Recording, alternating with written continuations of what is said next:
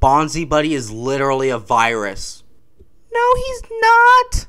Bro, it's pretty obvious that you edited in an existing scene from the episode because the animation is almost the exact same and that's clearly not your lip sync. It is now. I improved the lip sync.